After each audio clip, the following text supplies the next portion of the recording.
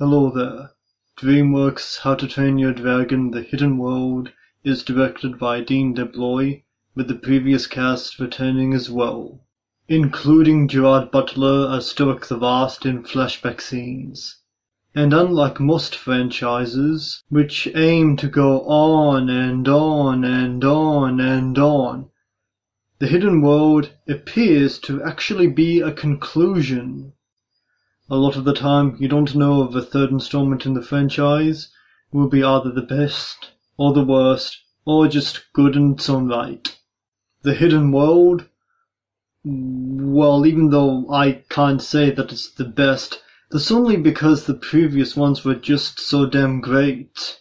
I guess that The Hidden World is at least equal to How to Train Your Dragon 2. So yeah, pretty much high praise.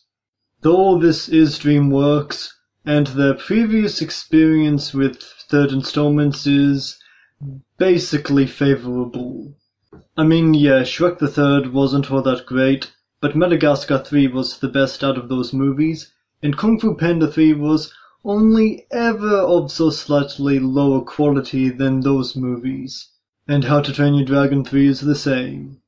Anyway, our story has the Vikings of Berk roaming the seas freeing captive dragons from our villain, Grimmel, who's basically Drago Bloodfist, but with a bit more personality. But not enough to make him much more than serviceable. Unfortunately, Hiccup, by freeing these dragons and taking them back to Berk, has overrun the village with dragons and has turned the village into a target for dragon hunters. Until he remembers his father, Stoick the Vast, telling him about this hidden dragon utopia at the edge of the world. And Hiccup decides that it's best to take all of the people and their dragons to find this hidden world. See what I did there? The first film tackled themes of ignorance and prejudice, as well as the second film, which also tackled themes of animal rights. Think about it. In this movie series, the dragons are captured in nets and put in cages, like animals, and are either trained by our animal-loving Vikings or brutalized by the villains. And in this third installment, the animal rights themes are front and center. Though I wonder how these dragon-loving Vikings got their fireproof dragon scale armor if they don't hurt their dragons. Is there something you're not telling us, Hiccup? Meh, those kinds of implications aren't as disturbing as if you were to apply the same type of thinking towards Pokemon. Your animation is gorgeous. What else is new? Does anyone really expect these movies not to be well animated? Though I will say that the actual hidden world is very beautiful in a way that the previous movies haven't been, with giant waterfalls, giant rocks, mists, and the inside of the hidden world is basically indescribable. But you'll know what I'm trying to say when you go and see it.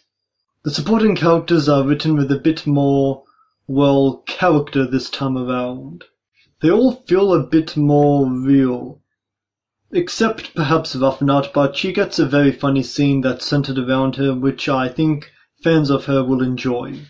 This is ostensibly the final How to Train Your Dragon movie, and this movie even treats itself that way, with a final narration and a Harry Potter and the Deathly Hallows style epilogue set a few years after the end of the story. Though in our modern age of cinema, you never really know when a movie series is actually at an end. It probably isn't. I just went off script. How to Train Your Dragon is undeniably DreamWorks' strongest film series, and The Hidden World ends it in spectacular fashion. And if you enjoyed this video, please like, share, and subscribe. Sayonara.